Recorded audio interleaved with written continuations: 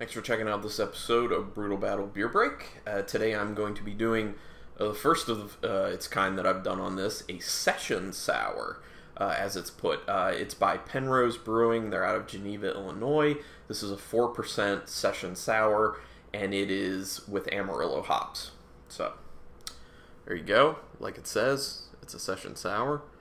Cool geometric uh, shapes on the label, and nice it's in a can. Love, love it when people are using cans.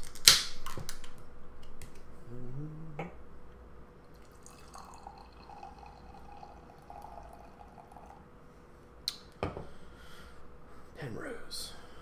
Okay, so a uh, little, little yellowish, orangish coloration to it. Some nice present bubbles.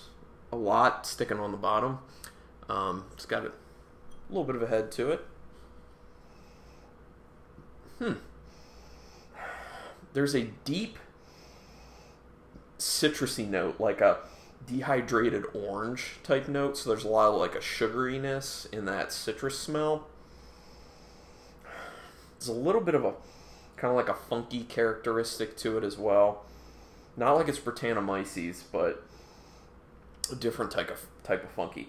There's a little bit of like that kind of citrusy, hoppy characteristic uh, with some cat pee as people say, which I know sounds terrible, but it actually is not a bad smell.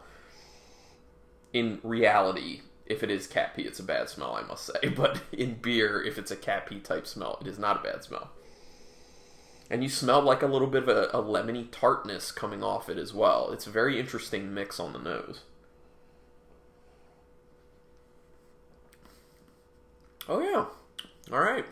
So there's like some nice citrusy vibrance up front very crisp up front, and then it kind of goes into this uh, tartness on the finish, and the tartness lingers, and it's a it's a bit of like a lemony, lemony lingering bitter uh, tart tartness on your tongue.